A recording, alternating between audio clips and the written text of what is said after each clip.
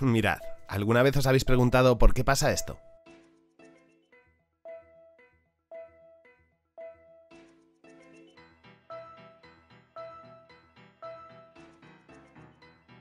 Hoy os voy a hablar de la guerra entre dos mastodontes de la industria del entretenimiento, Disney contra DreamWorks. Para entender bien tanto el casus belli como la rivalidad absoluta entre las dos compañías os tengo que presentar a un personaje. No sé si os suena su cara, pero ese es Jeffrey Katzenberg, un tipo bien influyente en Hollywood que ha acumulado, según la revista Forbes, más de 800 millones de dólares.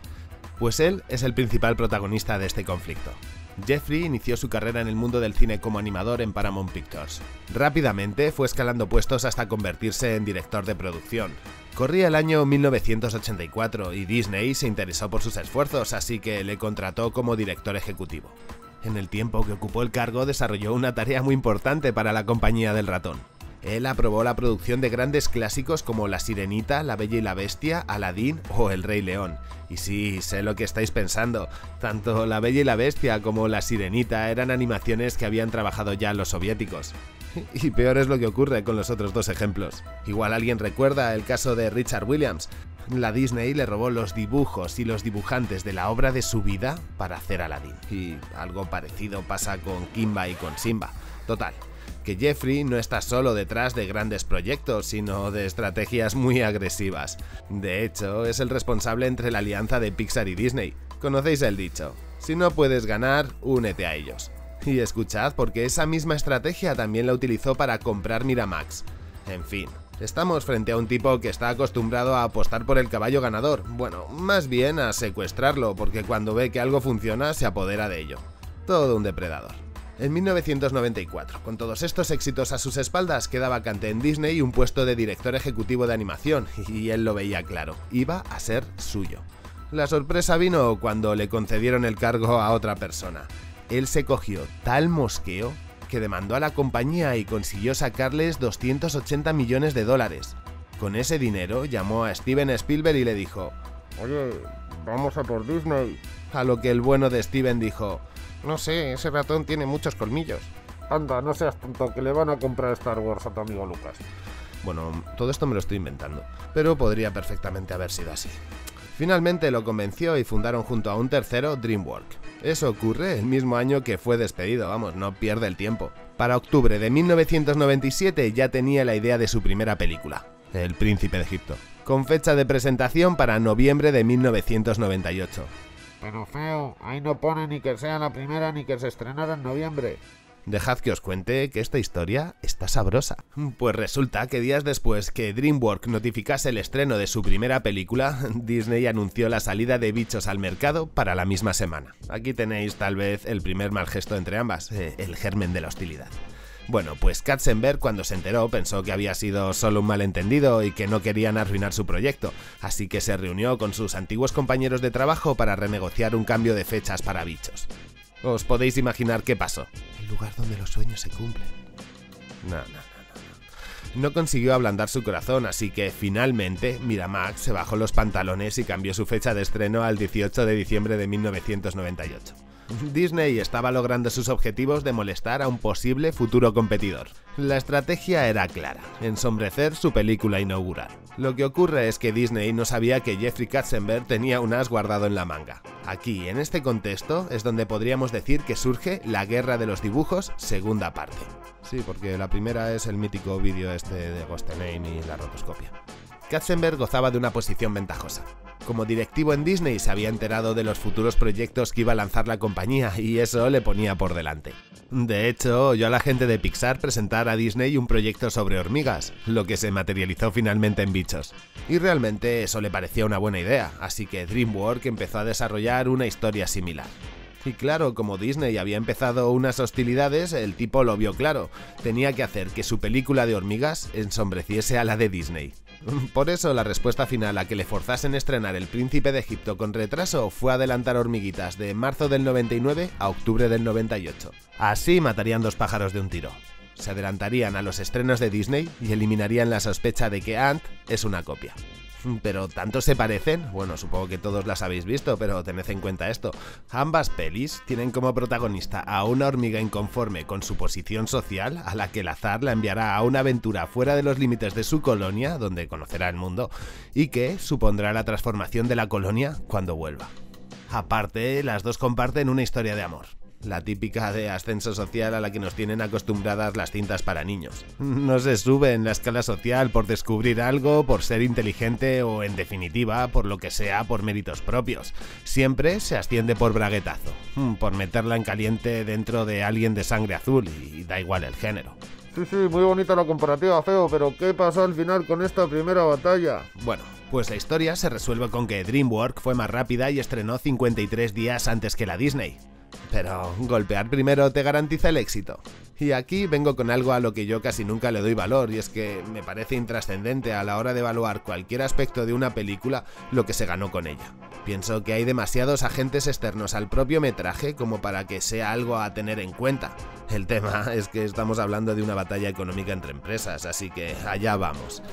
Bichos de Disney tuvo un presupuesto de 120 millones de dólares y recaudó 363.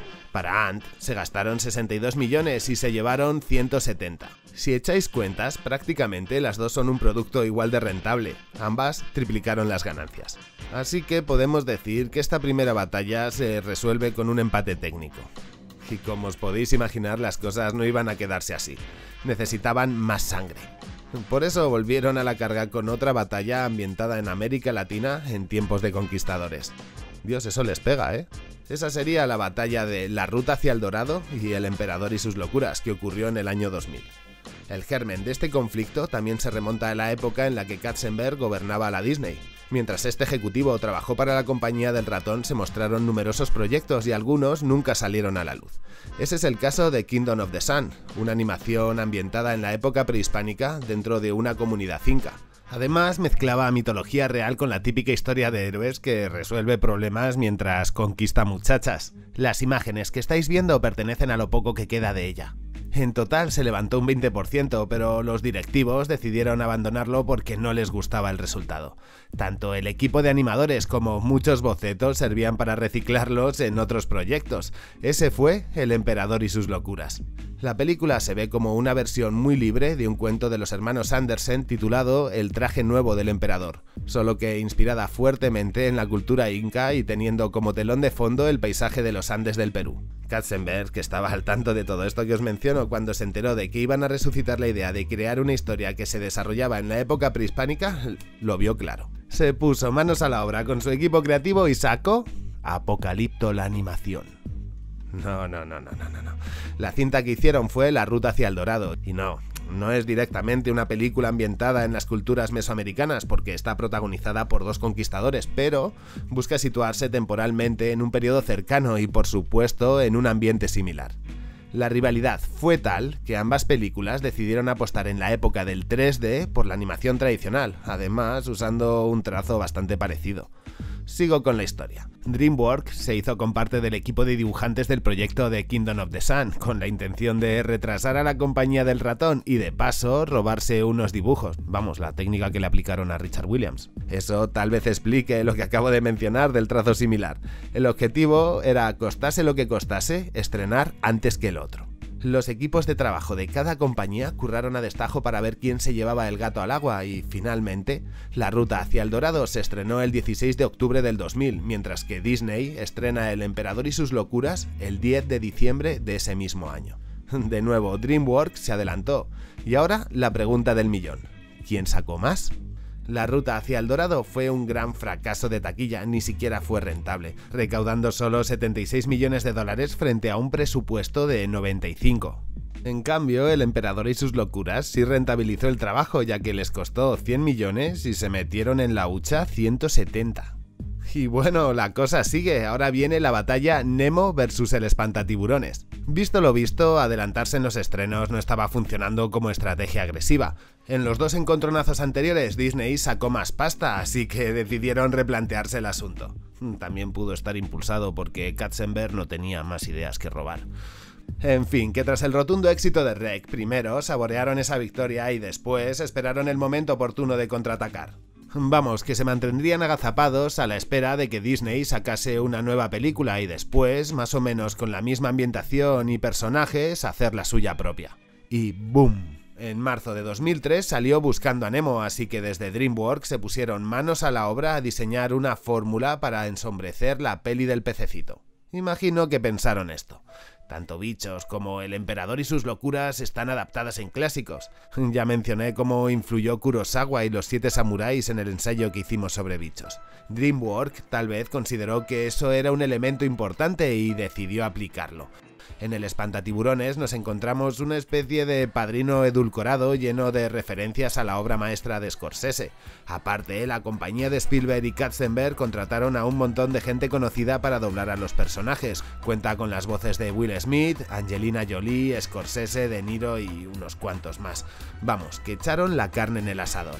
Además, querían jugar con algo que les funcionó muy bien en SREC, probar con una historia más adulta, con mafiosos, ajustes de cuentas y en definitiva una temática con líneas grises que sirva para entretener a pequeños y sacar una sonrisa pícara a los mayores.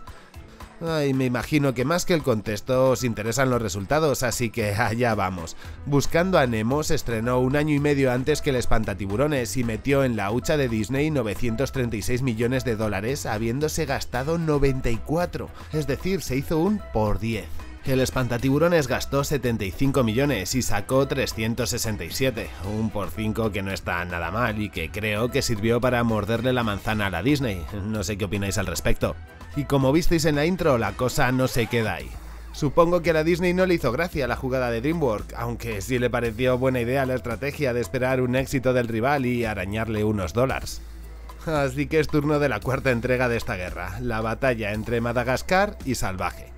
Ya os podéis imaginar por dónde van los tiros.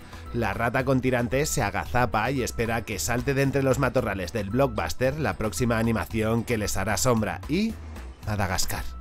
Una animación que cuenta la historia de un león, una jirafa, un hipopótamo y una cebra que se equivocan a la hora de tomar un barco rumbo a su casa y acaban en... Oh, sorpresa, no os lo podéis imaginar, Madagascar. Pues casi un año después Disney estrena una peli protagonizada por un león, una jirafa y otros animales random que se embarcan en el mismo puerto que los otros y que también lo hacen de una manera accidental en un barco que, of course, es destino a África. Y ahora lo bueno, ¿qué, qué, ocurrió con esto? ¿Funcionó? Pues Madagascar costó 78 y se llevó 532 millones de dólares, multiplicando todo el chiringuito este por 7. Salvaje costó 80, fijaros en la diferencia, entre la inversión de una compañía y la de la otra hay solamente 2 millones de dólares.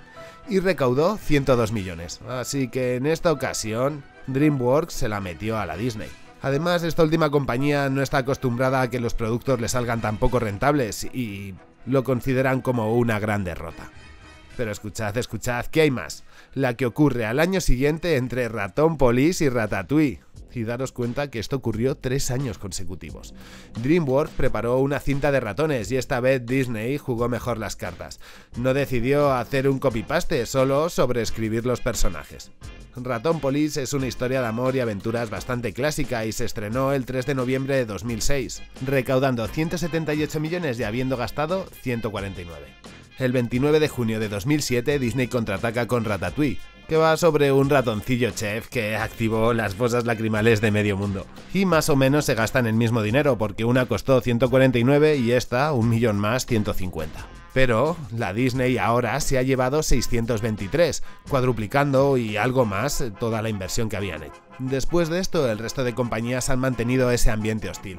Un ejemplo sería el caso de Happy Feet, rompiendo el hielo del 2006 y Locos por el Surf de 2007, es decir, la Warner versus Sony.